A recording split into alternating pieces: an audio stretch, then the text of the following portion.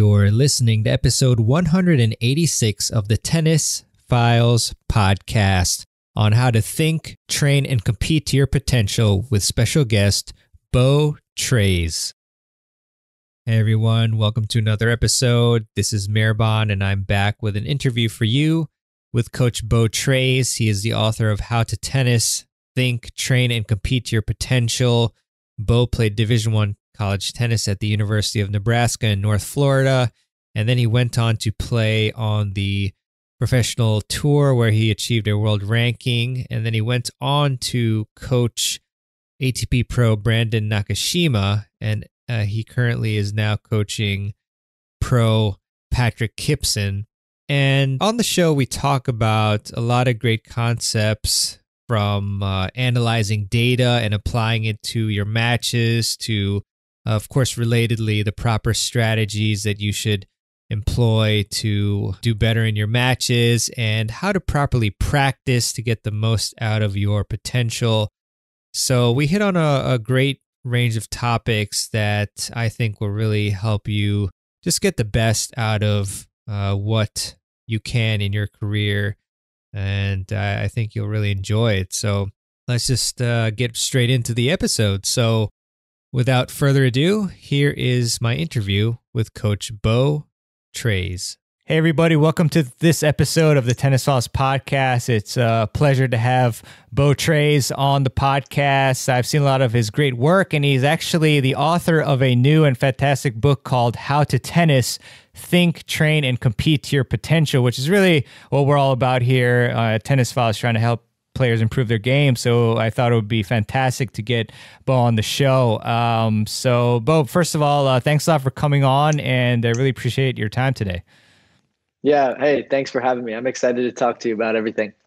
Yeah, for sure, man. Yeah, I mean, I've, I've seen you on uh, different podcasts. I was actually listening to one of you from last year, and you've been on my uh, friend uh, Phil Fama's shows. And so, yeah, yep. it's it's been great to see uh, you drop a nudge, and so I wanted you to do the same on this show, rather selfishly. Um, so, so yeah, you know, I've, I, you're you're a great player and coach, and I just wanted to to to kind of start and see how you uh, got your start in tennis because that can often be pretty interesting to see how how that happens for the guests. Yeah, yeah. Uh, from way back, you mean first first time? Yeah, first time you touched a racket, pretty much. Yeah, my uh, my dad was a coach, um, and so there's pictures of me, you know, as a baby with a. Uh, he used to have me like in the in the tennis pro shop, you know, basically with a string hanging down from the ceiling and like a racket in between my legs, me just banging the ball. So it's pretty much it's been forever. Uh, I've got an older brother who's uh, eight, nine years older than me, and uh, so you know I was basically would go to school and then go to the tennis courts with him and my dad, and uh, you know there's pictures of, of me in like a a backpack while my dad would be hitting with my brother or giving my brother lessons. So I was kind of like a I kind of grew up at the courts, and I, where I lived in New York um, we had a court in our backyard. So, you know, it was always me and the cousins and, you know, buddies just playing when I was a little kid. So it's really been my entire life I've been playing. Um, I didn't really turn that competitive until probably I was like 12. Um, mm. Yeah, I played a bunch of other sports too. I loved all the team sports. And, um, you know, but when I was 10, we moved from New York to Florida. And so tennis was easier. It was more year round. Um, and so I kind of just started getting into into tennis a little bit more than everything else. Very cool, man. Very cool. Um, yeah, yeah, yeah, It's it's uh, you know, just kind of random, but like I don't know how long you you were in New York, but aren't the courts there like really expensive? So it's really good that you had that court by you, right? Like, aren't they like over yeah. hundred an hour? I, I don't know. I mean, I don't really remember because I was so young, but I know that like, yeah, I mean, you got to pay for court time. And then, you know, I mean, lucky that my dad is a coach, but you got to pay court time and lessons and all that kind of stuff really adds up. And, and, uh, like, that's where my brother, you know, he grew up in New York, uh, playing like his whole life. Cause I have an older brother and sister and we moved to Florida once they went to college. Uh, but like, I, I remember for him, it's always tough. You can only really get a court in the afternoon and like you know all that kind of stuff whereas in florida like i was hitting before school and after school and mm. if i had a break during school i would go and hit all that kind of stuff it's just so much easier um, so yeah yeah i was i was pretty lucky i think for my tennis development that we moved to florida Yeah, for sure, man. And so as far as um your junior career, at what point is was it that you started to get uh, serious and uh, you know, and then like what type of training environment did you shift to when that happened? Yeah, I, I probably. I mean, I'm a pretty competitive guy. I think most most tennis players are. So I think I was probably always taking it pretty seriously. Um, but I didn't really start thinking about it probably until I was like 14. I mean, I was always playing. You know, I would play a lot of tournaments, probably like two or three a month. But I didn't really like. I was a kid. I wasn't really thinking about rankings. I wasn't really thinking about like, am I going to go pro? Am I going to go to Ken? You know, my dad is the only coach I've ever had. So, uh, you know, it was it was always pretty pretty cool between the two of us, and I just kind of go and practice with him, and um, you know, it's kind of it was pretty low key, I would say, compared to you know the world that now I kind of see from the coaching side. You know, the way that juniors are playing now, I, I was nothing like that for sure. Gotcha. You know, uh, I I was not really that. Obs- I, I didn't really think about my ranking. I didn't really think about winning you know, this tournament so that I can play that tournament kind of thing. I was just playing and, you know, obviously trying to get better and all of the all of the right things, but I wasn't really like that I wasn't like hyper like this is going to make me number 1 in the world.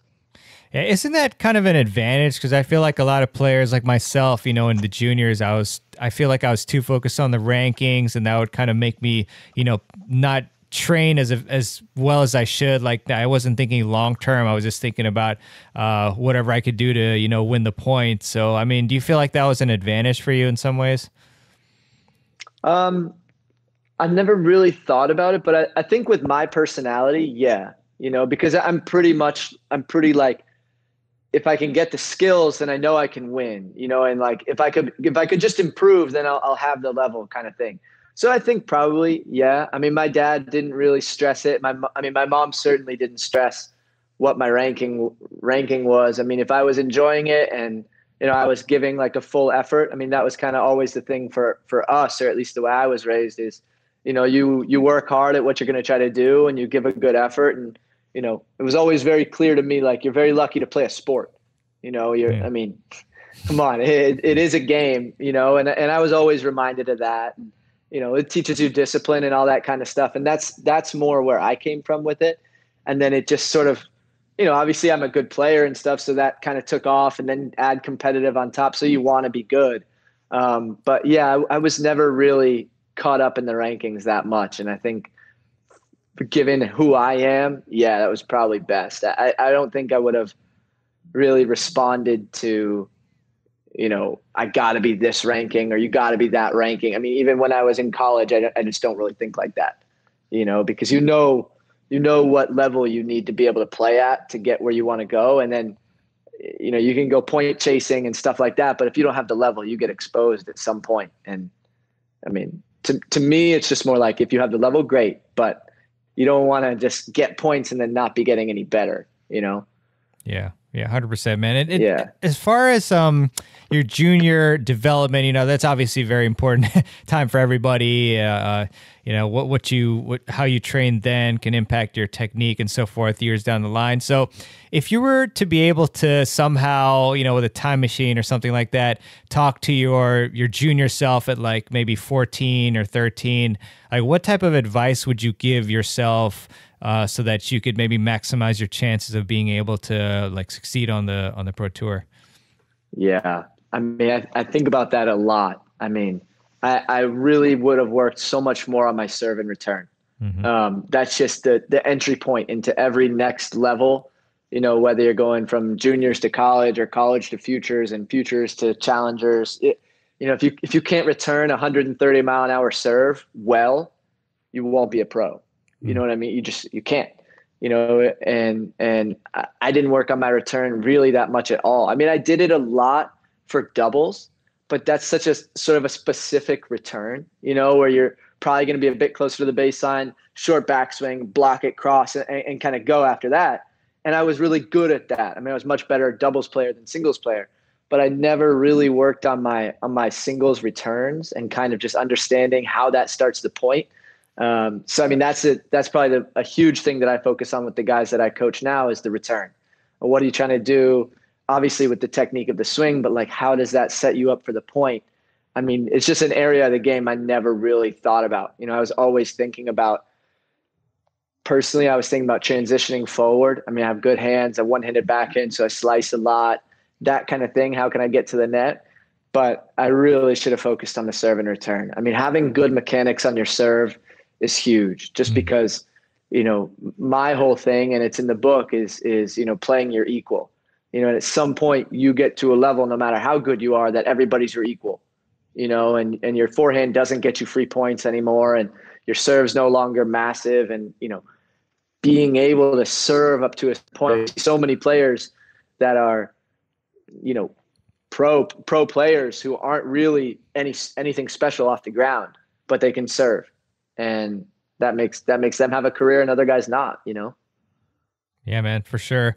Um, you know, trying to frame this in terms of like uh, amateur club players, I think you know majority of the listeners are probably three, five to four or five players. Um, yeah. What what's your advice on what to work on? Because I think there's the dichotomy, obviously, like that the, between strategy, uh, uh, yeah, placement, strategy, uh, those two, and then technique. So, what's your advice on on players on uh, what they should focus on for cl- uh, for club players between uh, technique or strategy and placement?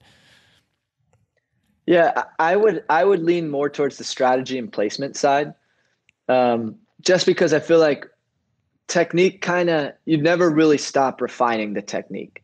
You know hmm. what I mean? Even even pro guys are still tweaking with technique a little bit here and there. But I feel like understanding the strategy and and what your strengths are and how they can, that can generally fit into a game plan to me would be the biggest thing just because you know then you're clear out there and you're not second guessing you know the short ball where do you hit the approach or what should you do if you're at 30 all? Or you know maybe should you serve and volley at 40 love to mix it up and, and get in your opponent's head a little bit? Things like that i feel like could really help a club player kind of just add more to their game. You know maybe every now and then if you're up in the score you take a second serve return and come in behind it. Just because now you planted in the opponent's head that you're coming forward and they can't just count on you to be on the baseline. You know things like that. I I don't know. It's been a long time since i've coached at that level. But I feel like when I was there, kind of in college or something, you don't you just don't see that very often. You know, I feel like people are kind of stuck playing one game. You know, and if you can figure out Plan A on somebody, you'll probably be all right. You know, and and if you could have a decent Plan A and Plan B and maybe mix those together, to me that would be huge. You know, um, but I think I think everybody's different. You know, probably is the, is the right answer that some people should should probably focus more on technique. Some people probably more on strategy. Yeah, sure, that makes a lot of sense, bro. And you know, I, am just curious. You you mentioned that even the best players in the world, pro- professional players, they are still tinkering with technique. Like, what are some of those little things that they're even they are working on? Yeah, I mean, I, I think some some guys, for example, like let's just say generally on on a forehand, you know, I think some guys because we're all pretty whippy with the forehand. You know, we can all create so much um, racket head speed mm-hmm. that sometimes the technique of the forehand can get a, a little bit away from you, you know, especially mm-hmm. if you mm-hmm. put on the years and years of doing it.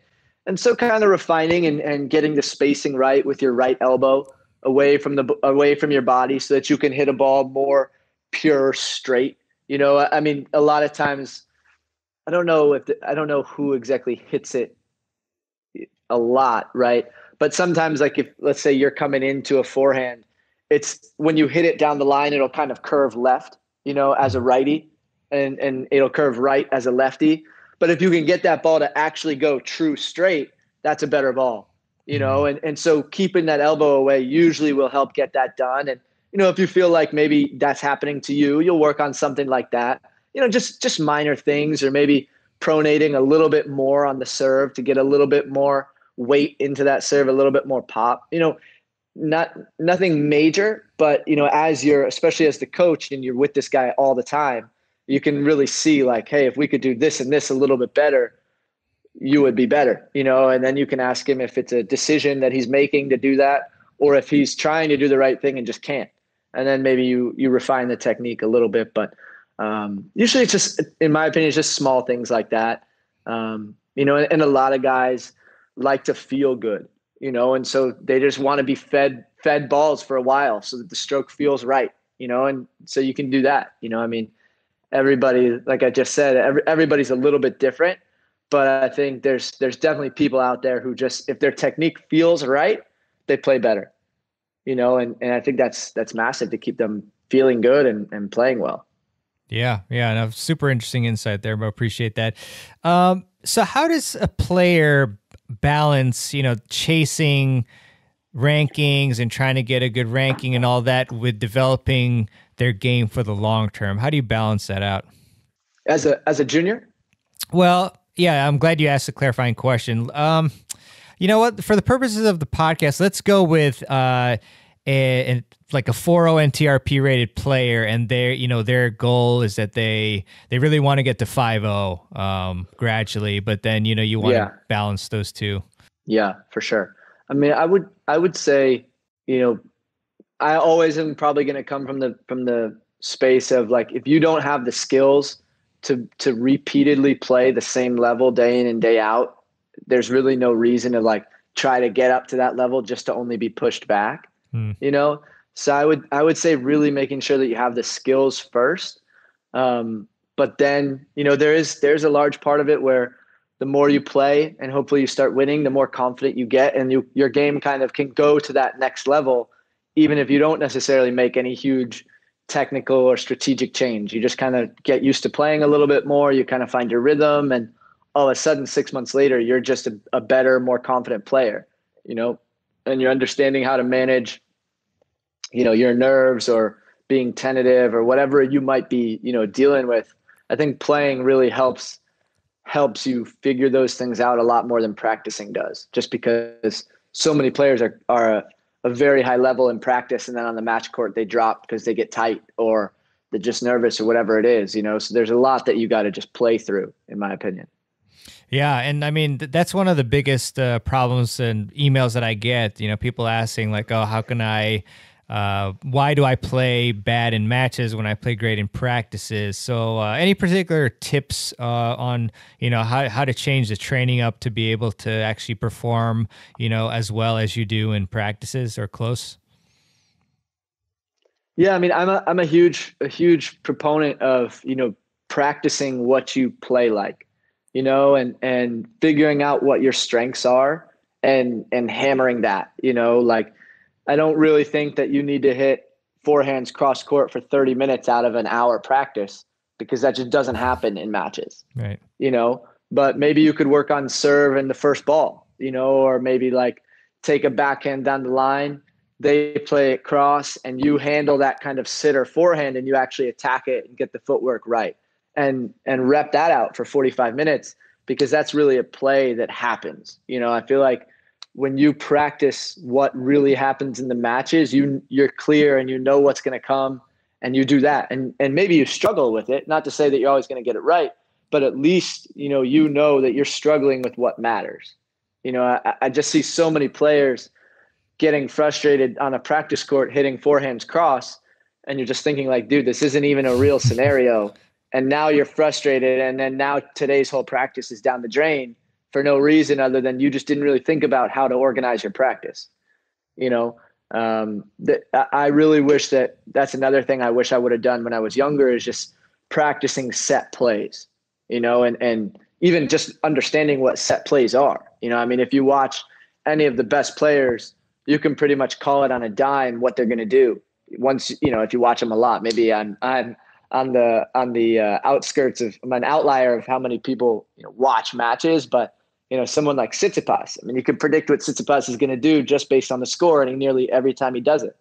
But you know, you know, Michael Jordan's going to get open. He's still going to score. You know, the like that's kind of how it is. And I feel like if people had that mindset of like, I'm going to do this, and then whether it works or not, you can you know make the adjustment that you need to make after the match. But you know, definitely coming in with a plan and practicing that plan, you'll be confident.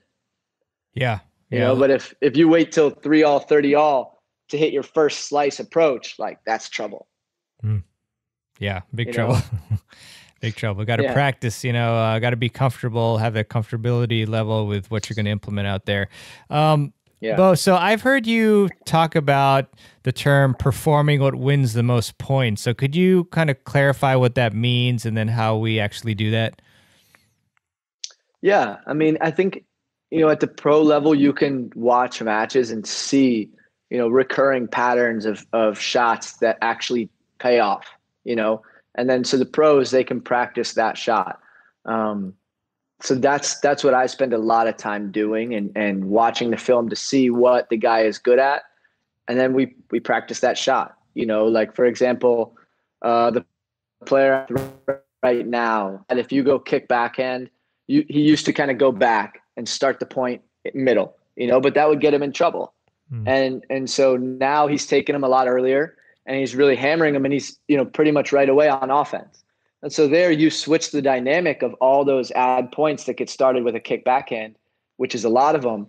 And all of a sudden you're kind of a different player, you know? So, but you don't, you don't get better at that dealing with a kick backhand return by practicing your volleys.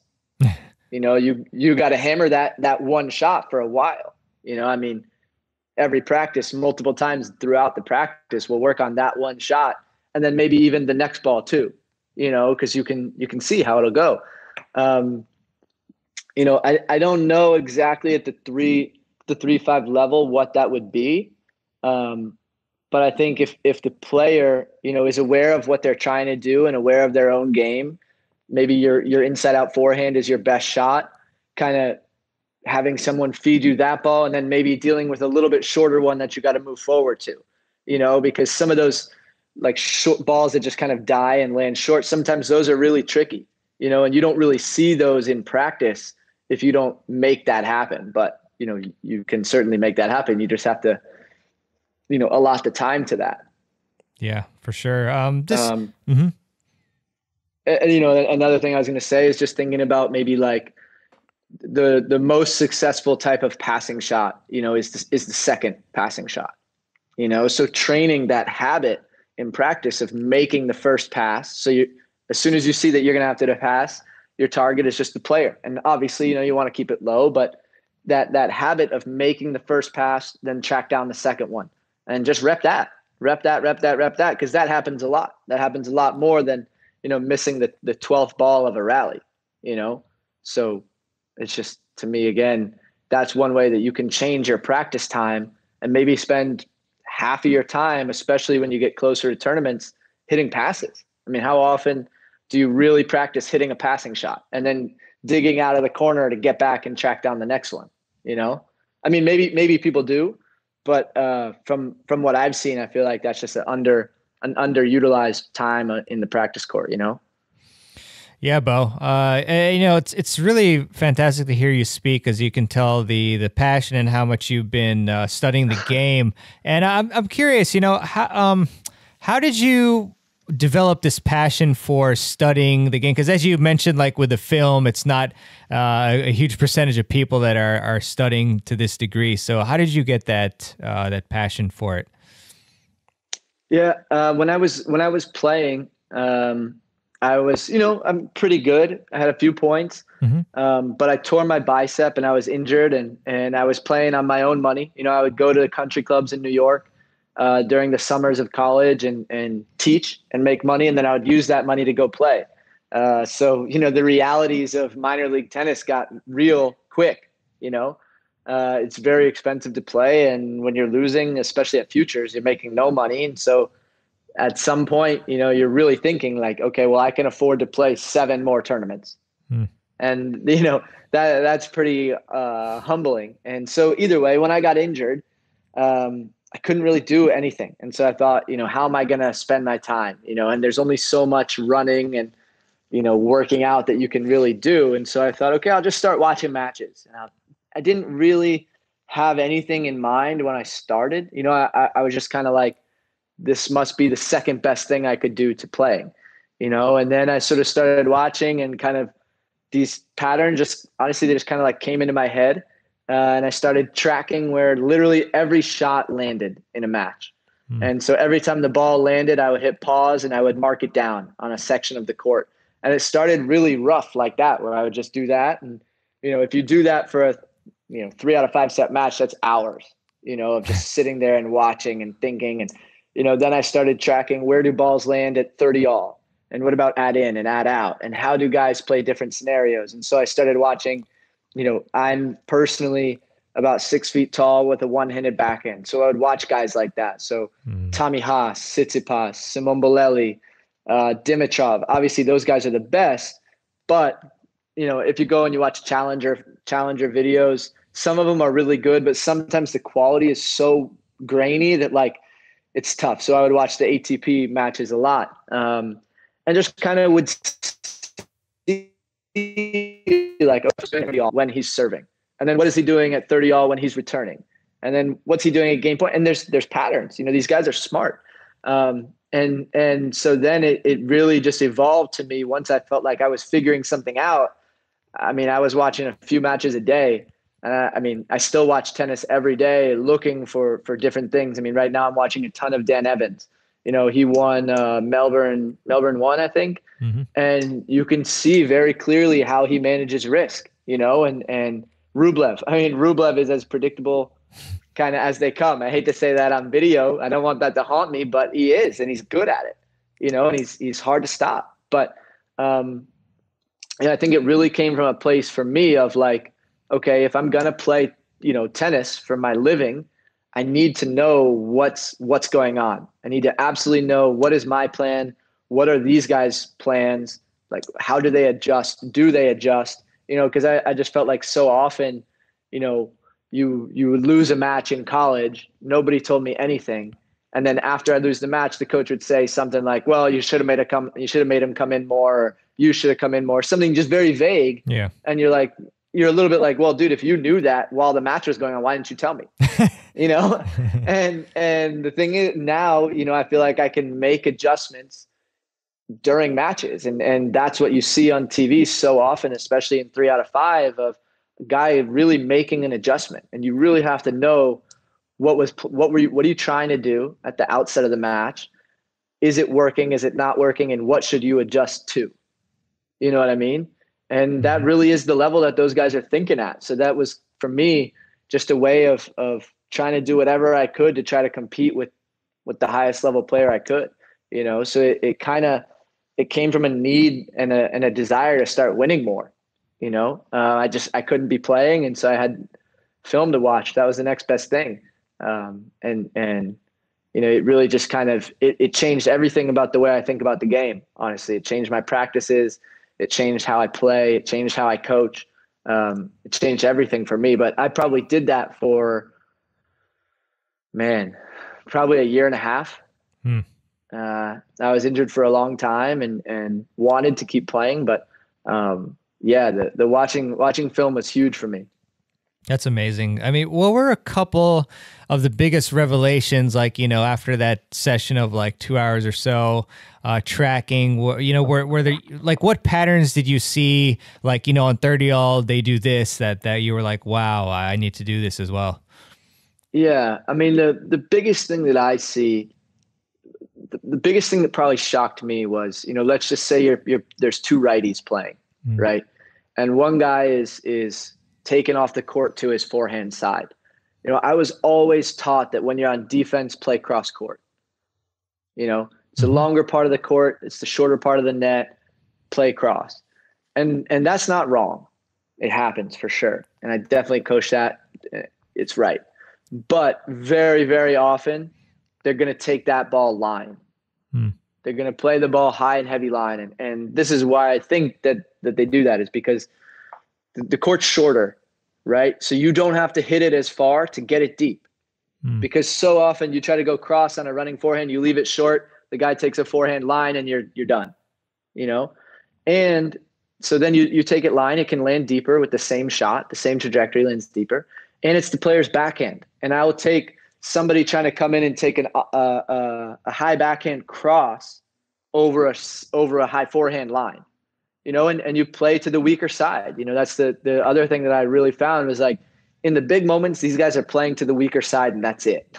I mean, if you watch if you watch Novak, watch him at thirty all, he's going to play to the backhand until mm. he gets one that he's going to try and change. I mean, that's what he did to Frances a few days ago.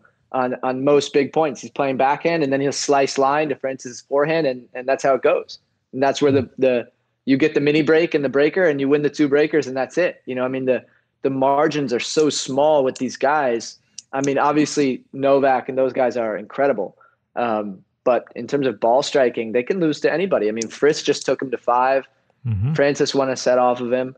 Um, you know, Nick and, and Thiem, absolute buster in the fifth. Yeah. Um, who went? Kokkinakis and Tsitsipas went 5 mm-hmm. I mean, mm-hmm. the level is so close. You know that maybe you make a few more of these decisions to play to play line on a on a running forehand with shape, and then you know bust it back instead of an offensive forehand. Maybe he misses that backhand, and you win the point that you would have lost. And you do that a few times inside of a point inside of a match that you know relies on eight points sometimes, maybe less, and that's that's the difference. You know, um, so to me, those those two things were huge. You know, because it's just counter to what I had always been taught. You know, and and I watched a ton of a ton of matches of mismatches.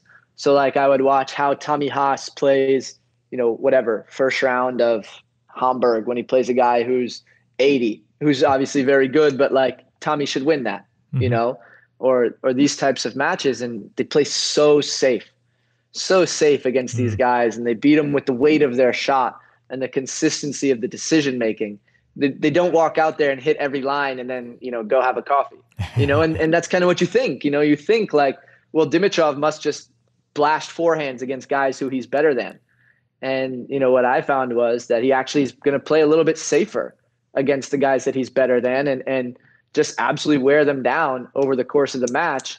And you know, against Rafa, he's going to have to redline a little bit, you know. But but I always kind of thought it was the other way around.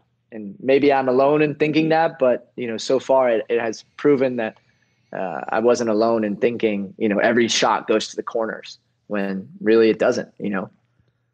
Yeah. Um, really great stuff. I'm really enjoying hearing your insights. And yeah, you know, it, it's interesting because I, I just, I interviewed Marcus Willis last week and, you know, as you know, he made that sick run at Wimbledon and he ended up uh, going through pre qualifying and qualifying and uh, first round victory and then played Federer.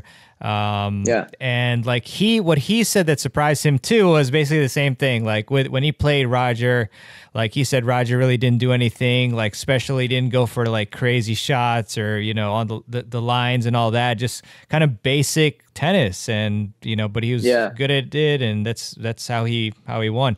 Um, so yeah, very cool stuff, and and also really revelatory. Maybe that's not even a word but you know the forehand line. I really like that how because um, you're you're not only forcing the opponent to hit a backhand but like usually it's going to be a, a, running backhand for them as well. Um, and so with that yep. sh- shot yeah just to clarify um, like because I, I feel like a lot of players like maybe they'll go line uh at least at the club level but they'll like just try to go for broke type of shots so well, at the at the level that you're yeah. looking at i mean they are like amazing and can hit these ridiculous shots but is it usually like a running right. like more loopy heavy ball that's like higher yeah. margin uh-huh. okay yeah yeah for sure i mean it's the same thing like high and heavy yeah. But you just change it to the weaker side. And, and maybe the forehand is the weaker side, right? So then maybe cross is the better option. Mm-hmm. But I would, I mean, I just think it's a good changeup, you know, and, and yeah. for sure when you're running, when you're running forehand and you just slap it line looking for a winner, that that's not what I'm talking about. But, mm. um, yeah, I mean, and, and, you know, back to what you said, like, how can you practice these things? Like practice that, mm-hmm. you know, I mean, practice making that decision on defense. Okay what shape am I going to give the ball? Am I going to play to the weaker side or the stronger side? What do I have to recover like? All those things, you know, that because that is what tennis is. You know, tennis is not making 85 standstill backhands cross in a row and hoping that the technique is right. You know. I mean, in the top 100, there's a million different techniques. As long as it doesn't injure you, it's probably fine. Yeah, for sure. You know? Yeah, yeah, definitely, man. And, and, when you uh, when you watch those mismatches, you said like Haas versus the number eighty that he should be winning. Like, wh- um, how did the losing player get beat? Or, well, actually, I'll flip it. Like, how, what mistakes were they making that that you found like really put them in a hole? Yeah, I mean, a lot of mistakes when the player is on offense. Mm. You know, mm. giving, trying to do too much, and and you know, in, that's what I talk about a ton in the book is that most pass, I think, of course, I forget it right now, but uh, you know, you're gonna have a winning a winning percentage when you are the one who approaches the net, right? So I did this whole thing where I was tracking where passing shots went, right? So if they went line or cross, because one thing we've always hear is cover the line, you know, right, right, and and I've also found that not to be true. You got to cover mm. cross. Most passing shots go cross because mm. the low part of the net they want to dip it at your feet. And with the rackets and the strength that these guys have now, that's that's what happens. You know, cover the line, in my opinion, is is just wrong. Uh, but that's maybe a conversation for another day.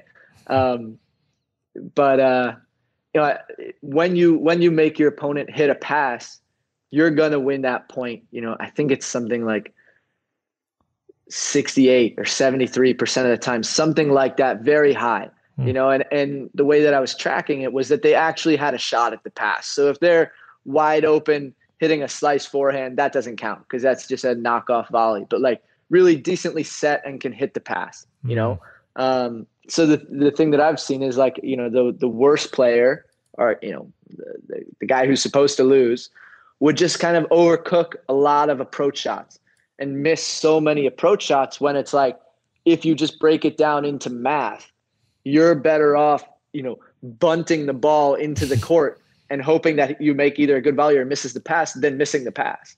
And that's very simple. But I think if you think about the math equation of that, you know, at, while you're the one playing, you take some pressure off of yourself. Like it doesn't have to be a slice line that goes an inch over the net and lands an inch inside the sideline to be good enough. You know, it, you just got to, if the guy's on the run and he's hitting a pass, it's a tough ball. And if he mm-hmm. makes them for the next two hours, too good. But most of the time, he's not going to make them. You know, and and the other the other part that I think really helps too on that is that especially early on in the match or in sort of the first tight moment, if you hit a good approach and get past, you know that only 4% of passing shots on the first time get hit for a winner. Hmm. So if that happens, it's a miracle. so you can quickly get it out of your head. Uh, it doesn't matter. Too good, you know, rather than dwell on it and say, ah, this is why I never come to the net or, you know, he's too good or whatever it is, because it's just statistically that's not true. You know, and at least for the way that I think, it's it's much easier to move on when I know that that's the case. You know, it's easier to put it out of my mind after a blistering backhand pass for a winner that okay, well that doesn't really happen. You know, and and that happens significantly less as the stakes of the match go up. You know what I mean? Um, so so that was probably the biggest thing that I've that I saw. You know, I mean, of course, mm-hmm. sometimes there's differences in the quality of your ball, but you know that's tough. Sometimes Dimitrov or Haas they just serve bigger and better than the guy that they're playing, and mm-hmm. so that's kind of unfair. But like in terms of when they're both equal, you know, it's it's who takes care of the offensive opportunities that they get that usually makes a big big difference. Very nice, but yeah, I'm, I'm really enjoying this the stats uh, analysis here. Um, and by the way, the stats like is that I assume that's like a you know based on like a, a crap ton of matches or something like that. Like yeah, yeah, that's just a, t- a ton of that's all those matches that I was watching, just writing uh-huh. it down. I mean, I have notebooks full of uh, you know, it looks like hieroglyphics a little bit, but, but I can understand it and and uh, you know convey the information. So so it works for me. Very cool, man. Very cool. Um, kudos yeah. for doing that.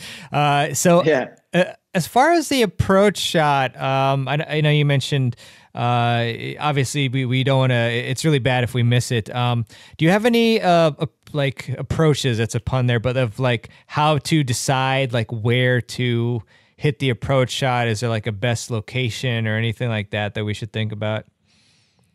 I mean, you know, just generally speaking, the backhand is usually the worst side, mm-hmm. and you're going to have a better winning percentage against a backhand pass than you do a forehand pass. Mm-hmm. So I would say, especially if you're playing an opponent that you don't really know and you're just kind of feeling it out in the beginning, I would I would just play to the weaker side. Mm. You know, I, I don't really think that much about approaching like line or cross, especially in the beginning of a match. I just think put him on his worst side or put her to her worst side and see what she can do there and, and adjust off of that. You know, and and that's just my way of thinking too. that goes back to like, okay, at least I have a base plan, you know, and, and then I can see what happens, know what happened and adjust, you know? So maybe if I go backhand cross, pass, uh, approach, and they can, they burn me three times down the line, maybe I'll take the next one down the line and see what the forehand can do or whatever it is, you know, but I, I like to just operate on just what is the math of, of, you know, obviously I'm always talking about pro tennis. So I, I don't know honestly if it translates. I imagine it probably would, but just basing off of that of okay, let me start with what I know is right and adjust off of that. I, I think sometimes people get a little bit complicated thinking about like chat and and how deep and all that kind of stuff where I think it's just put him in a tough spot to his weaker side and see what they can do there. Yeah, I think that applies even more so at the uh, the three five to four five level and so forth, because uh, you know it's it's going to be a weaker, uh, probably a much weaker shot than in the pros, uh, relatively speaking, and all that. Um, so, Beau, as far as like um, uh, numbers on the serve, do you have any particular uh, illuminating numbers in terms of like? Oh, you know, like you'll win the point the most if you slice out wide, you know, on the deuce side or something mm. like that? Like any particular stats that are pretty noteworthy? Honestly, I don't. I, okay. I don't. I, I do feel like the serve is a shot that's pretty different for everybody.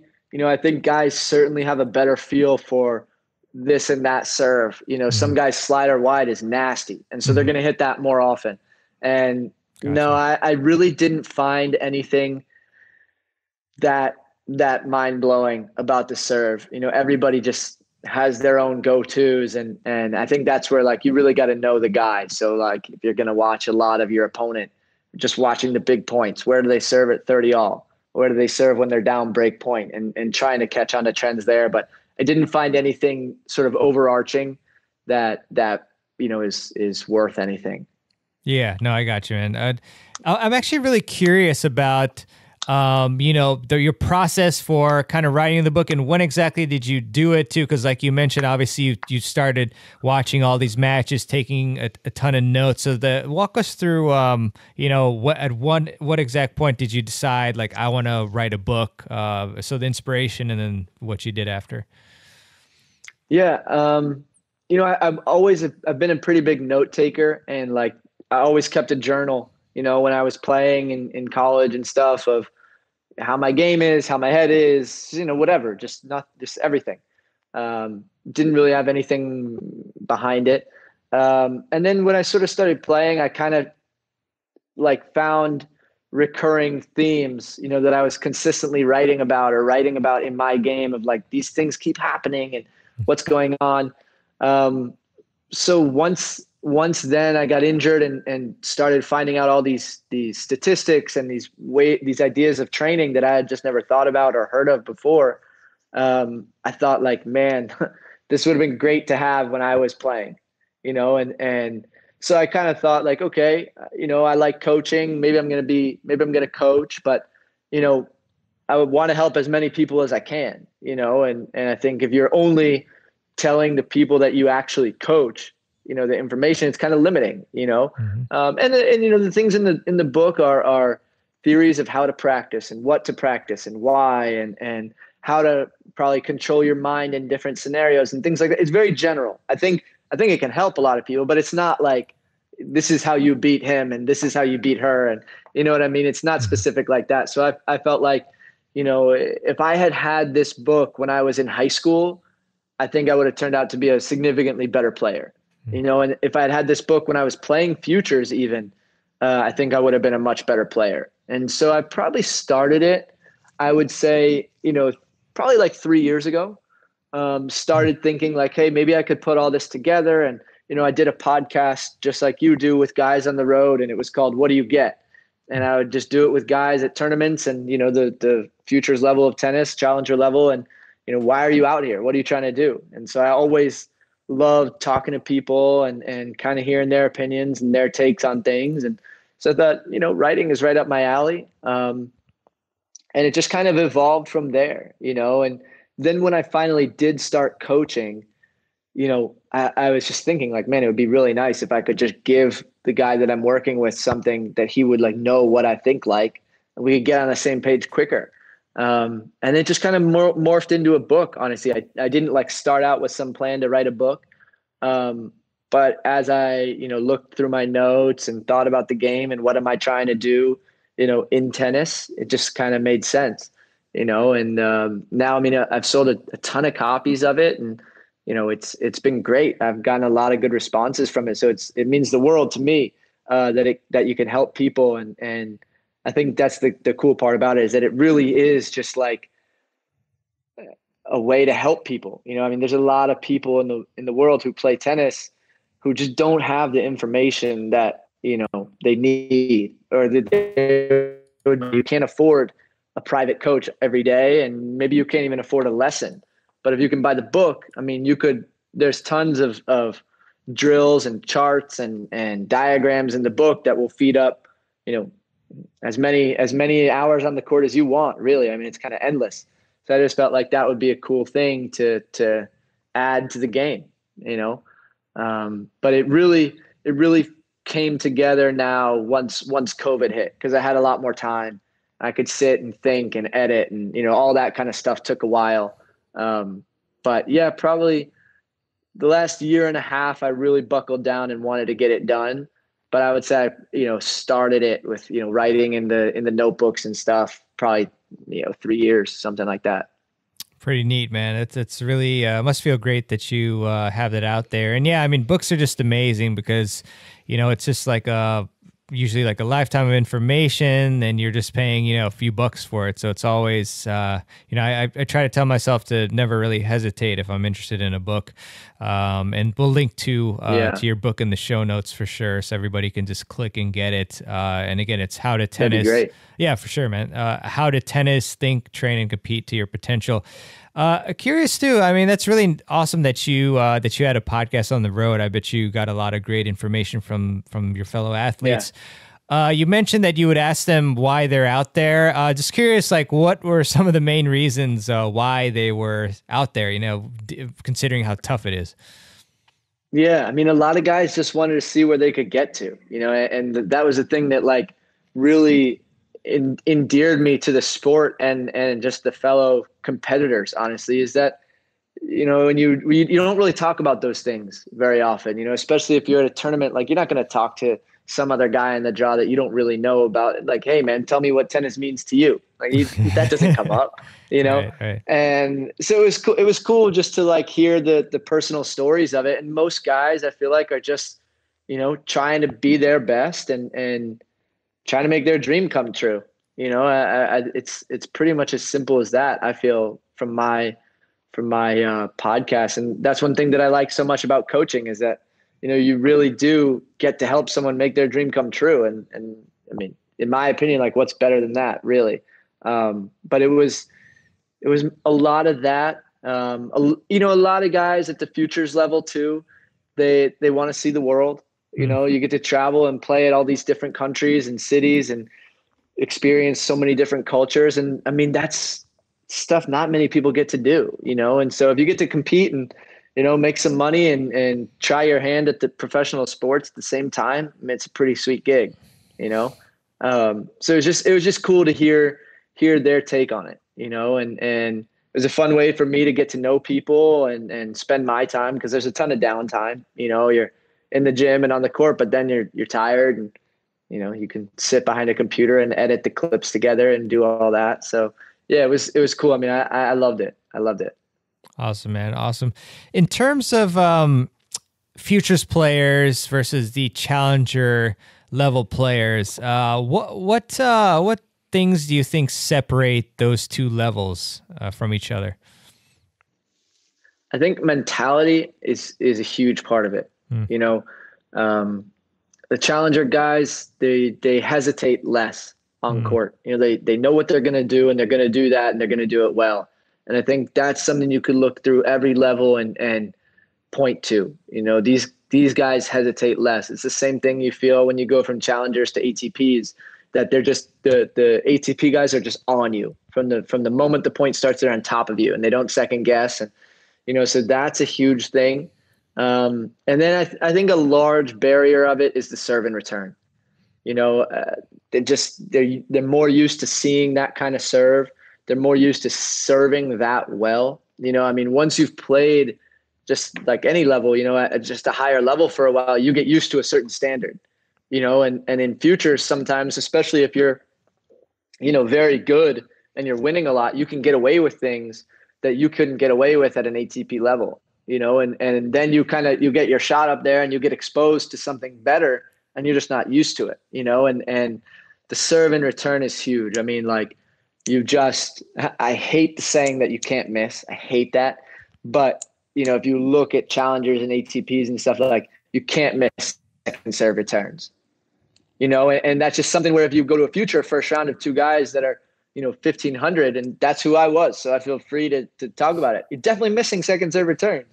you know, and and it's just a maybe it's mental you're just not locked in enough or maybe you haven't practiced it enough and you don't understand the scoring situations but you know just little little things like that can make a huge difference in the in the outcome especially you know when you're when you're both equal players when you're both very good if one guy is a little bit more on it making first serves at, at add in and one guy's missing second serve returns maybe that's where the match you know the score turns um, so those things I, I think really make a difference. And then, you know, the, the, a big thing too is just the quality of the ball. You know, I, I don't know if you've ever been to a futures or if you've ever been to mm-hmm. like a, an ATP, but if mm-hmm. you watch those, those guys practice, like they hit the ball so pure and with so much weight on it that, you know, they can play you right through the middle of the court and still beat you because their ball is so good.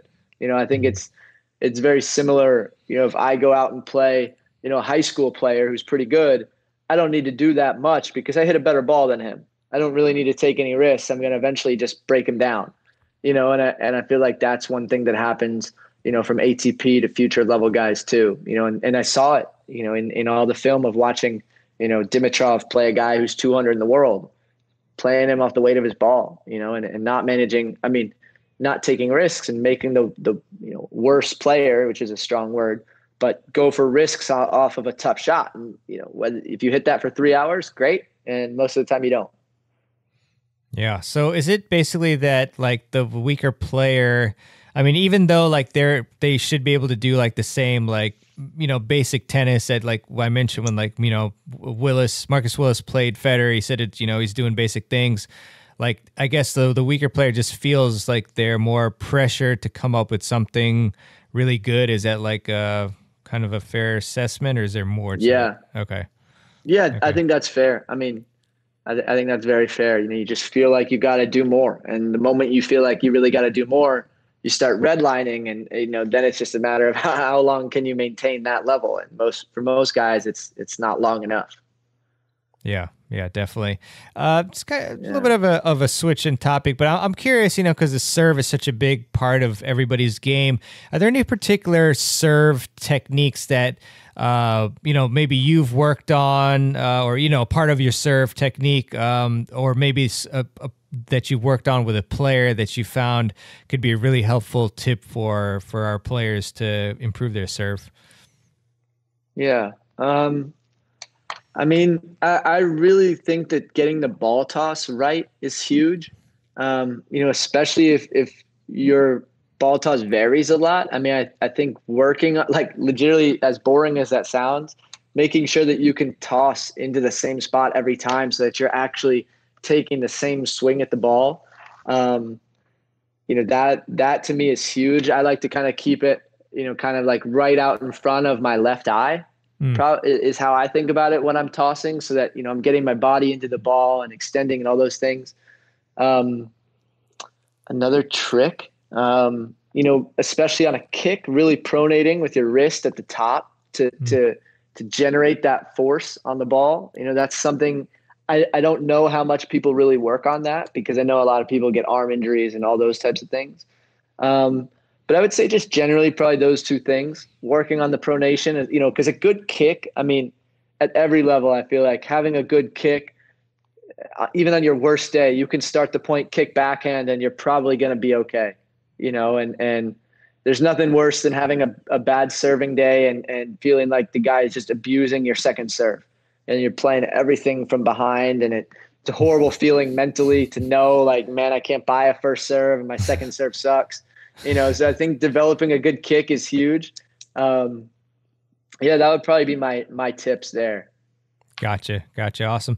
Um, you know i think uh, as, as we talked about a little bit you know players just don't really watch enough uh, film. They don't film themselves enough to, to analyze their own game uh, what tips do you have for players in terms of how and, and, you're a pro at this basically. I mean what what some what are some tips you have on how to really get the most out of analyzing film? So let's say we have ma- a match film of ourselves or an opponent like how should we approach watching it and taking notes etc to be able to to get a lot out of that session? Yeah i mean personally i think you know the, the best strategy is to be playing offense you know in tennis. I mean I, I don't really want to be a guy who's going to make a career hitting passing shots. Mm-hmm. You know, so I think if you just wanted to like start very basically, you know, I would look at the points you know the, the more important points of the match. So you know obviously that depends on the score but maybe the 30 alls um, you know when you're serving and returning and the ad points and, and see kind of how you played them. And do you think you played them with the intent to play offense or did you kind of play them too passive? Did you play them defensive um, and then I would look at you know the first first two shots of those points. Like, did your return let you down, and you just left a sitting duck in the middle of the court at 30 all? You know, and then that's pretty clear. If that's happening over and over, you got to work on your return. Um, or maybe you know, like I said earlier, are you getting offense but then missing the approach shot?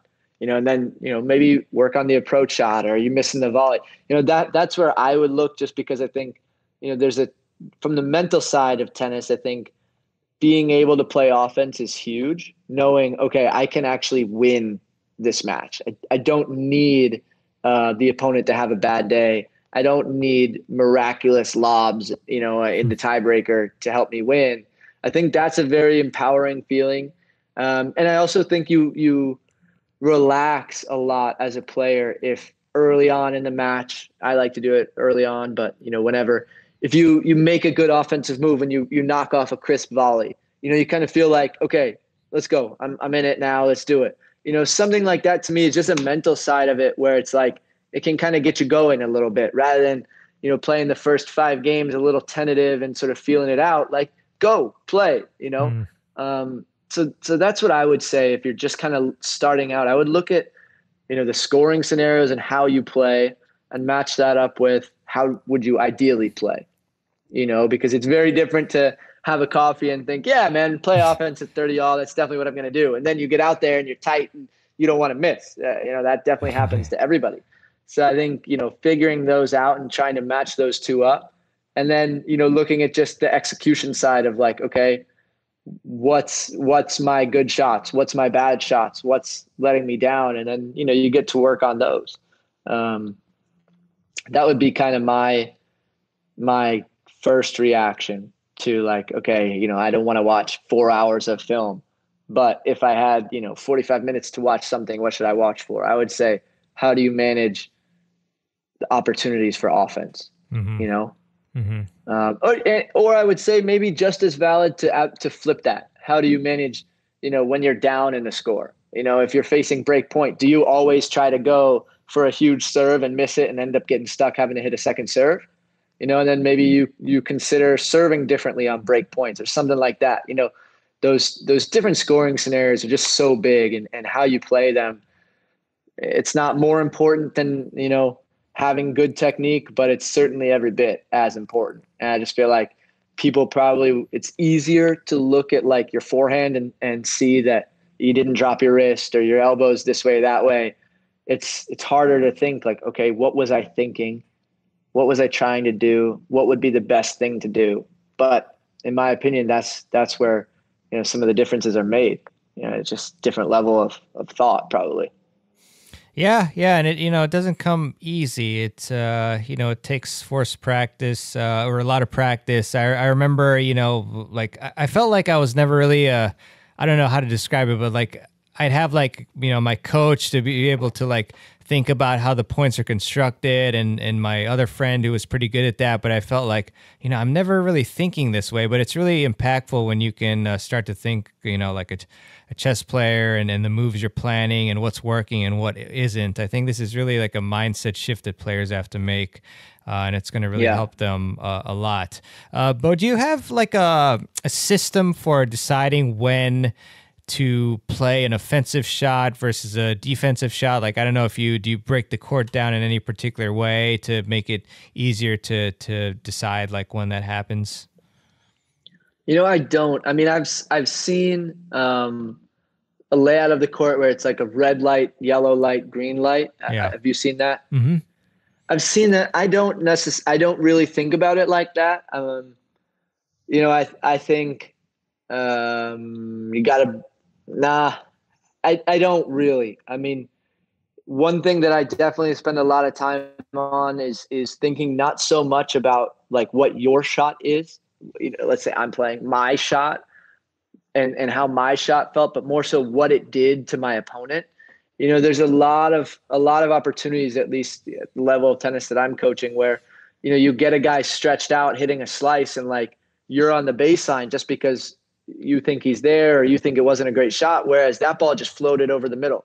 You know and if you had been watching him a little bit more you would have recognized this guy's running for his life. Mm. i could sneak in and grab a volley and even if he hits a good you know a good dig uh, i can probably still handle a volley to the open court or something you know? So i think a lot of players kind of get an offensive shot and they think only about themselves. I want to hit this ball hard i want to hit it right there i want to all those things where it's like maybe instead of thinking about me, I'm going to think, okay, I want to get him stretched out to his backhand. So whatever that means, given that ball, that's what I'm going to do. Maybe you go with a backhand angle approach instead of an inside out because you can actually get it off the court better with your backhand angle. Mm-hmm. And that's playing more for position and more for what am I going to do to him more so than like what do I want to do? And I think most guys would rather just absolutely crush a forehand inside out, but maybe that's not the best choice. You know, um, so I, I don't think too much about zones like you know red light, green light, uh, yellow light. Um, I do think that's super helpful though. I think it definitely clarifies the court, and it's a it's a pretty simple way to say offense, defense, neutral. I think it's great for that. Um, but no, I, I, don't really have any any way of breaking down the court uh, that I necessarily coach or or think about. You know, I think you have your your good shots. And that's what i think about like you know watching film of like you know maybe one guy's backhand down the line is particularly good. It's his strength. So maybe he's looking to hit that shot a little bit more often than someone who doesn't have that weapon would be you know but um yeah there, i don't have any like hard and fast rules of when you're here you do this. When you're there you do that yeah, no, I think that makes sense because there, as you just mentioned, you know, there's other variables as well. You know, you have to really be paying attention to uh, to your opponent and you know their their balance and and how they're how they look uh, in terms of you know how ready they are to recover. So uh, I I think it you know that like you said that system can help can be like a baseline, but there's a lot of other things to consider, especially at the uh, the pro level here. Um, you mentioned in an interview uh, as well that uh, it's really important to learn where your strike zone is. Uh, so I was wondering if you could kind of talk about that a little bit as well. Yeah, I mean, I think you know, you when you're playing um, or practicing, you know, recognizing and being aware of like where do you hit good balls from? You know, where on your body, where is your strikes, your strike zone? You know, if you think about it, like in baseball, all those guys know exactly what pitch they're looking for you know, and, and I think the same thing is true of tennis. You know, it's, it, if you're, you know, in a forehand cross rally and you're, you're, you want to change line, don't necessarily just change on any ball, you know, because they're all different. And maybe you, you handle a high ball better than you handle a low ball. So maybe you could be at a point where you're playing and you're just registering, you know, hey, here's a low ball. Okay, I'm going cross. As simple as that. You just base it off of where's the ball going to be on my body more so than like what do I want to do you know. Um, but that's that's definitely one thing I, I talk about all the time with with my guys is like when it's in your strike zone, it's right to take it, regardless of whether or not you just missed four in a row. I mean, obviously, you know, make adjustments if you're hitting three in a row in the net, give it a little bit of shape, whatever. but you know, you you got to play offense. You know, and that's that's where I come from. So if you get a strike zone ball, man, take it because if you don't, he's gonna. But if you don't get a strike zone ball, have the discipline to not take it. You know, I, I think that that's the ball recognition part of it, and and really being tuned in to to what you're good at and what that ball presents you with, and making a sound decision off of that. You know, I mean, I think that's one thing that you know makes somebody like you know um, Monfils or Kyrgios or Jack Sock so so good is that their strike zone is basically anything. you know, I mean, they can do so much with the ball that they can they can take a ball that most of us don't see any options with and do something great with it. You know, that's a that's a special talent that those guys have, um, and they're certainly aware of that. You know, they're not just out there doing whatever they feel like doing. They know they can do that, and they practice it. You know, and and then that's why they can do that. But I mean, if you think it like Dominic Thiem, like I feel like he's very disciplined with his shot selection based on where the ball is. He, he's very, very disciplined and he doesn't go for that much very often, but he does. But, you know, most of the time it's right. I mean, people love his backhand line. Most of the backhand line that he takes are somewhere in between his, you know, like uh, his waist and his and his chest.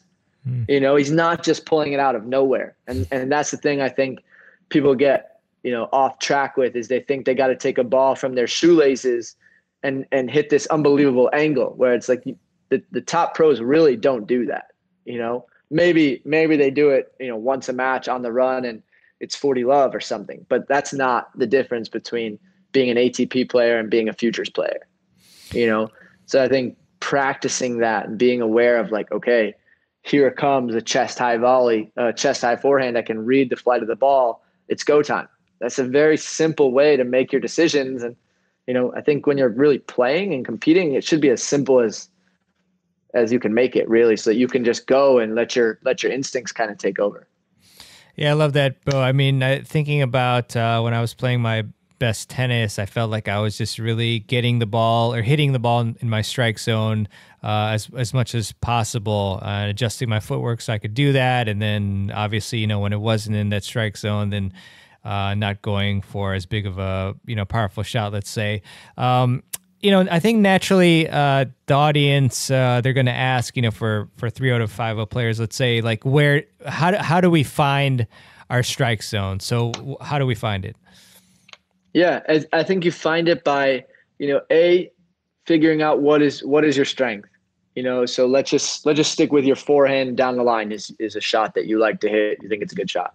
You know, so when you're practicing, you know, I have a uh, I love to do this drill, but you set up two balls to make a little window down on the backhand side of the other side of the court, and you you know you hit forehands cross or through the middle, looking just for that strike zone ball to take down through that window. You know, and so you go until you hit ten, and maybe you can adjust it okay, now I'm going to try to take balls down the line that are above my shoulder and just see how those go for a little bit. Maybe you're really good at that and you never try it, so you don't know, you know, or, or, maybe you're horrible at it. so you learn, hey, dude, it took me two hours to get 10 through the window. I can't do that shot. So you know, you know, I, I think you have to practice, you know, recognizing and then taking those shots, whatever your good shot is. You know, that's one thing like you don't really hit any mindless shots in a match. You know, most shots, even if you're staying neutral, you you chose to be neutral. You know, and so I think you have to practice like that. You have to practice conscious decision making, and you have every every bit of sense to to practice offense, defense, and neutral, and just registering those balls. You know, so so practice your your forehand cross angle and your forehand line, and see where where do you generate that shot best you know love that awesome awesome advice there bro so uh, just one tip on the mental game uh, what maybe one or two best pieces of advice have you ever either gotten from somebody or given to somebody in terms of uh, mindset and the mental game that you think could really help uh, club players yeah, uh, on on my podcast actually, I got a gem from Amer Delic. I don't know mm. if you know him. Yeah. Uh-huh. Um, yeah. But he told me that there was a point in time where he was really struggling mentally, and he was losing a lot, and he was having a hard time. And um, someone told him, you know, how how good do you think you are at tennis? And he said, you know, very good. I'm very good. And so he said, so to beat you, you would have to be very, very good, at least as good as you are. You, you know everything about tennis, and this guy knows just as much.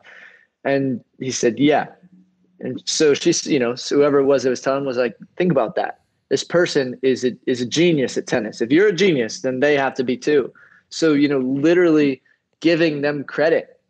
Just, you know, when they hit a good shot, wow, good shot.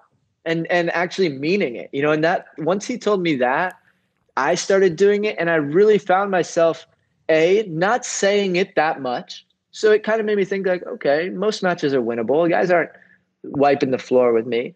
But then when I would say it, like it would register in my head of like, damn, that was a good shot.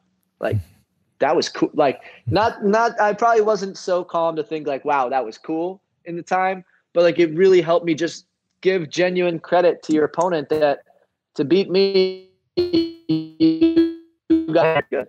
You know, and and that really helped me a lot just to to say and mean good ball. You know, it's nothing more than that, but good shot, something like that, you know, and and that really helped me a lot. Um, so I would definitely, I would definitely recommend that. You know, being just being more kind of genuine and, and giving the opponent credit when it's due, and not always taking it like I did something wrong. Maybe they played great. Maybe that was a great shot and you did everything right, and that's too good. Mm-hmm. Um, so that that's probably the one tip I have about you know the, dealing with something like that and the competitive side of it. That that really helped me a ton. Yeah, I love that one. Um, yeah, it's uh, you know you get a lot of players who they they demand perfection of themselves, and you know we all know that you know the best player in the world is winning like what fifty five percent or something like that of yeah. the po- total points, and so we're not machines. And yeah, I mean the other aspect is just kind of treating yourself uh, like you would a friend instead of like a piece of junk. You know, I feel like too many people are just like bashing themselves in and out. Uh, so that's that's really good good stuff there. For sure. Um, yeah, For sure. man. Yeah, and man. the self talk of it is so huge. the yeah. self talk of tennis is is enormous. I mean, you just couldn't be couldn't be more important, really. Yeah, definitely. Uh, what what types of um, self talk are you telling yourself in between points? I mean, I try to do my best to to fill my mind with with plans. Like I, I like mm. to have a plan and, and that way I'm focused on on a strategy and b like thinking more so. If, if i notice that i'm getting maybe a little bit negative about this and that i switch i try to switch it as, as soon as i recognize and and go back to what am i good at? What is he bad at? How can i make those two things match up? Um, but at, at, the same time it, it's not like you know you're i'm immune to ever being like dude my backhand sucks I mean, I definitely feel that, and I've said that you know a lot. Um, Me too. But I think the, the quicker you can recognize it and get out of it is is the biggest. And and I try to think that I'm going to win. You know, thinking about winning. You know, and because I think very much so, like what you tell yourself comes true sometimes. And so tell yourself you're going to win because you're going if you're not telling yourself you're going to win, you're telling yourself what? You're going to tie or lose. Right. So you're telling yourself something, you know. And I, I just think if you can spin it to be as positive as you can and as realistic as you can, I think that's the the biggest thing. You know, I'm I'm not a huge like, you know, you have to be this super positive, like, come on on every point and like only positive because I feel like sometimes that it's a little cheesy, like it's not real, you know. Um, I think as real as you can be, and for me, that's usually like okay, reset to a strategy, reset to a plan, and and just play. If you come out on top today, awesome. If you come out on on the bottom side of it, well, that's what you agreed to do anyway. That's right. That's right. Great stuff there, man. Yeah. Great stuff. Yeah. Um, so in terms of um, you know, how to tennis, think, train, and compete to your potential, um, like who would you say the book is most well suited to in terms of the audience? Like who would benefit the most from it? You know, I think anybody really looking to make a breakthrough of a to a different level of their game. You know, it's not a technical book, but it's a very strategic book and a book based on, you know, the percentages that I've found on the ATP tour, which are I would feel confident to say pretty much going to be up and down the levels similar, mm-hmm. you know. Um, so I feel like people who are maybe a little bit feel stagnant in either a their practice or b just their style of play, and they can't really figure out like how to add new dimensions to their game. Um, I think it would be really good for that, um, as well as just the mi- the mindset of playing, you know, and and how to deal with different scoring scenarios and and different situations when you're winning and losing. Um, I, I, think it would really help there, you know. Um, but it's not. There's no techniques in it. There's no like ten tips to hit a better forehand or anything like that. Um, but I, I really feel like the strategy side will make things very clear and will let you know what other players are doing to you. You know um, that there's there's probably not a magic sauce that they have. You probably just don't really know what's really happening in the in the game. You know, like one of the one of the stats I found was amazing to me was, you know, I was watching for, but I was checking for how many winners are hit. You know, and if you you turn on ESPN tonight and watch the Aussie, you know, whoever's playing, Tsitsipas is going to hit. I don't know, 42 winners over the course of four sets tonight against somebody. But, you know, there's a huge difference between, you know, having a wide open court, you work the point for six balls, a wide open court, and you knock the volley off, versus being in the middle of a, a three ball rally, and everybody's standing in the middle, and some guy just blasts a backhand winner. You know, and, and I call that a ready opponent. You know, and if you watch tennis and you look for how many times does a ball get hit past a ready opponent who's relatively in the court, can kind of predict where the next ball is going to go, everything's okay. It's like four times in a match max. Mm so that really changed my mind too. These these winner and unforced error numbers, in my opinion, really skew things the way that people understand it. If you know, great players, it skews it for a lot of pro players, but especially if you're only watching when a grand slam comes on TV and you hear these guys are hitting 60 winners and then you go out to your courts and you hit one.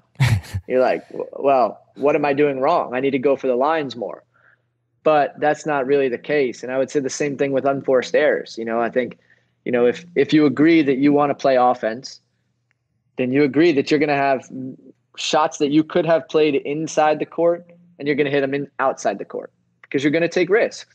And it's not, in my opinion, just putting balls in play is not the way to make a career. You know, and so if you agree to to go for it, you agree to miss. Even easy balls, you're going to miss them.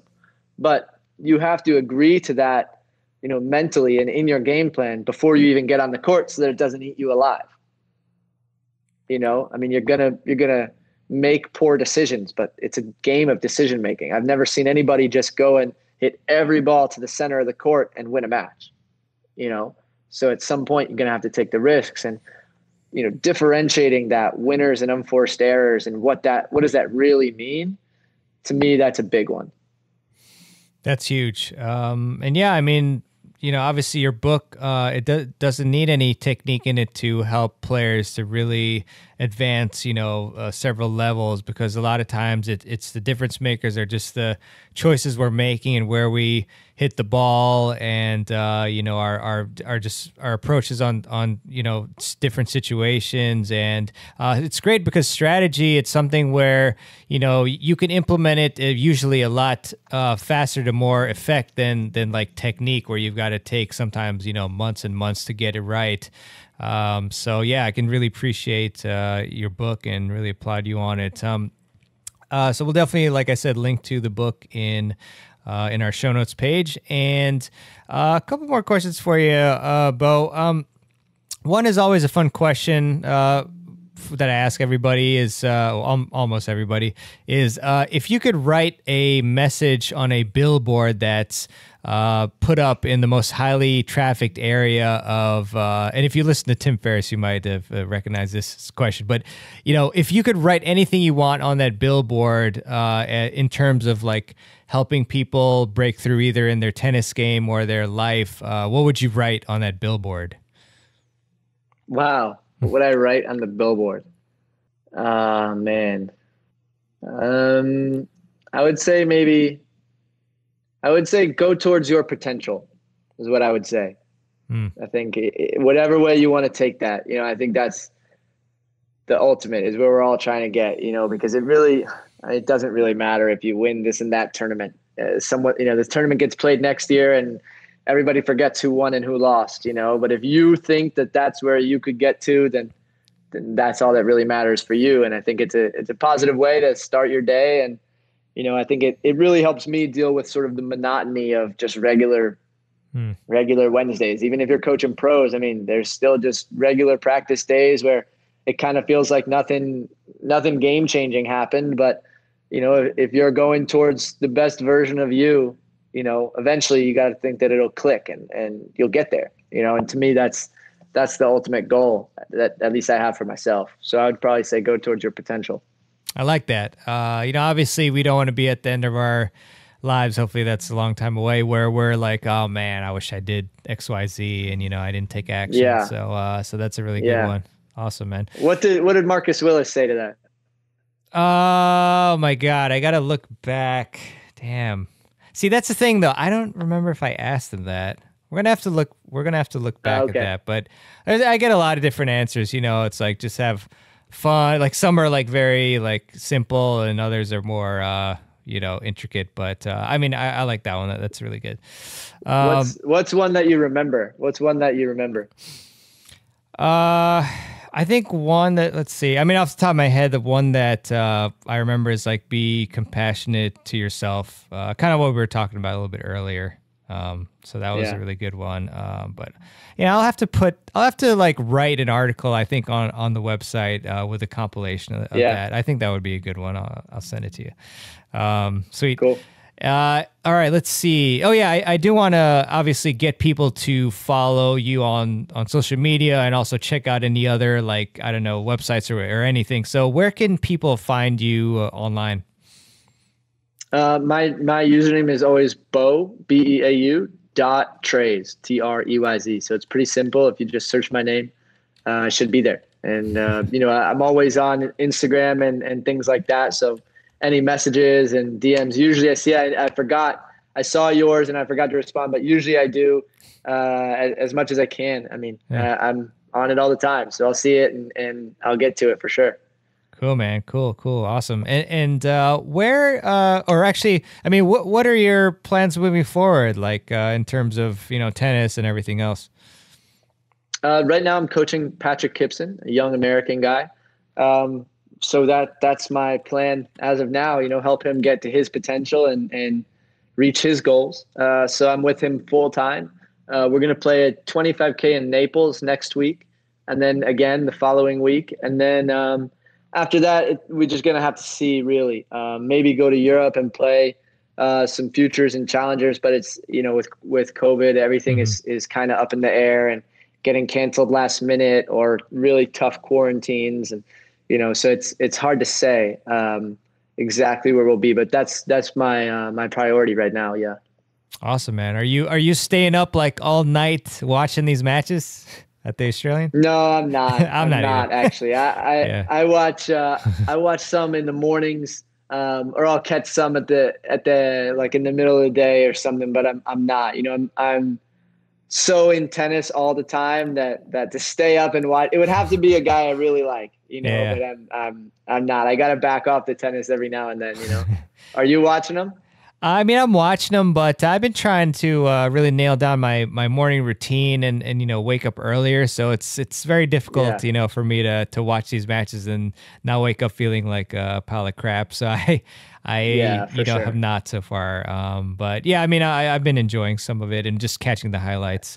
Um, yeah, it's so. going to be hard to watch now with no fans. I mean, like I, I didn't yeah. watch that much of the U.S. Open. I mean, I watch it and you know I take my notes and all that, but like it's just different with no fans. You're not really you're not in it. You know, you're to me at least you're just watching strategy and I do that all day anyway, so I don't really want to watch it. But I mean, when the I love especially the Aussie. I feel like the Aussies are really fun. Like that Kyrgios Thiem match was awesome to watch. So crazy. Um, yeah, it's tough without the fans, but yeah, it is. I mean, uh, I know uh, Taylor Fritz was um, was talking about that and how I guess they they paused for like ten minutes or something to get the fans yeah. out because of the uh, the deadline to do that. So yeah, that's wild. I mean, that's such a bummer in in my opinion. I think especially for somebody like Taylor who has like I mean, he I feel like he always plays best on a big stage. Yeah. And you you put him against Novak in the fifth with a full stadium. I mean, maybe you just get a diff- maybe you get a different outcome there. Whereas if you put him alone with Novak, it, it can change. Just it's the energy is completely different, you know. So that's that's kind of a tough draw on his end, but you know you got to be safe.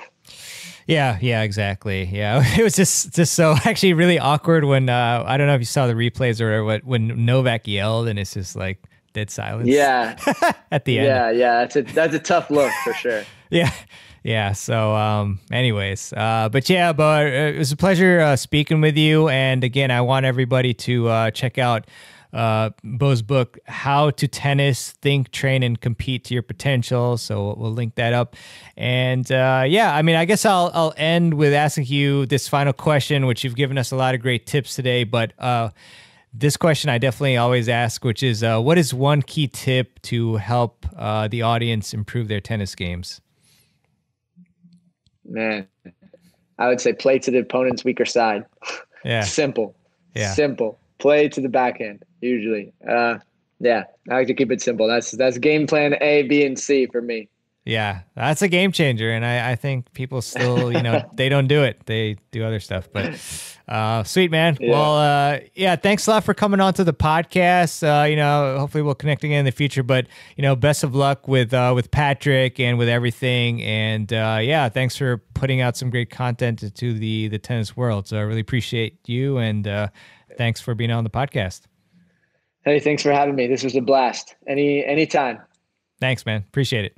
All right. I really hope you enjoyed my interview with Coach Beau Treyz. Uh, definitely recommend that you check out his book, How to Tennis, Think, Train, and Compete to Your Potential. And we will have the link to Beau's book and any of the other links that we mentioned on the show today on the show notes page, which is located in your app of choice. And you can also check it out at tennisfiles.com slash podcast, uh, which has a handy dandy audio player as well, containing all of the podcasts, easily searchable. You can type in mental, you can type in fitness, you can type in technique, whatever it is you want, and you will see the episodes that are pertinent. So that's really helpful.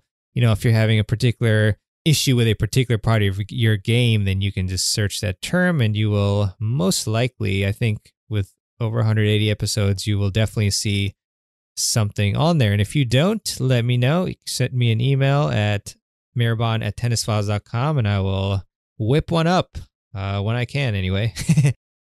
and uh, speaking of the podcast, I would really appreciate it if you would leave a review for the podcast if you find value in the show and in the information that we present here.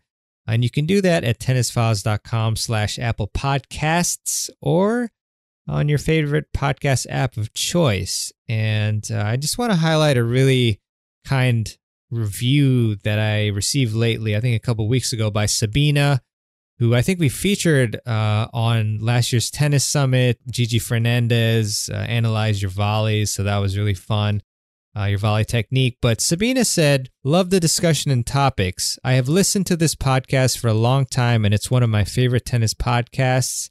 I love the focus on how to get better and the mix of sharing his own experience and interviewing coaches within every aspect of the game. Really incredible content Mehrban creates for our tennis community, including the yearly tennis summit, and I appreciate that a lot. Fun to listen to while learning and enjoying this wonderful sport. Double exclamation points. Thanks so much, Sabina. Super kind of you. Really appreciate that. And yes, I'm so excited about the tennis summit that is coming up on April 19th. So definitely, uh, if you're not subscribed to my newsletter, then just go to tennisfiles.com and do that. Uh, and you will get uh, notified as soon as registration goes up for that. Some of the, the, the, uh, stumbling my words, but I'm basically in the planning stages and figuring out exactly which coach is going to present on what topic. We'll have easily over 30 coaches, probably closer to 40. We'll see, and some really amazing names. Uh, so stay tuned for that. And I'd like to leave you with a quote, as I often like to do at the end of the show. And this one is by John Wooden. And Coach John, the legend, or Coach Wooden, the legendary coach, uh, said, Make each day your masterpiece. And I really love that advice because it's really up to us to take the action or actions that we need to make it a great day. And you know, it's it really just stems from from our thoughts, from the mind, and then most importantly, to take that action and take control. Don't let the day control you. You control the day. And uh, yeah, I remember Rick Macci, uh, amazing coach, said something to that effect uh, in playing a tennis match. You know, don't let the match control you. You control the match. So uh, I really appreciate that advice from Coach Wooden. All right. Well, with that, I uh, really appreciate you listening to this episode and to all the episodes that you have checked out. And I just hope you that hope that you got a lot of value from it, and really excited to keep bringing you uh, and serving you, uh, you know, these episodes to help you improve your tennis game and to get you where you want to be. So, uh, with that, just uh, stay safe out there and play some tennis if you can, and wish you all the best. And this is Mehrban Iranshad signing out.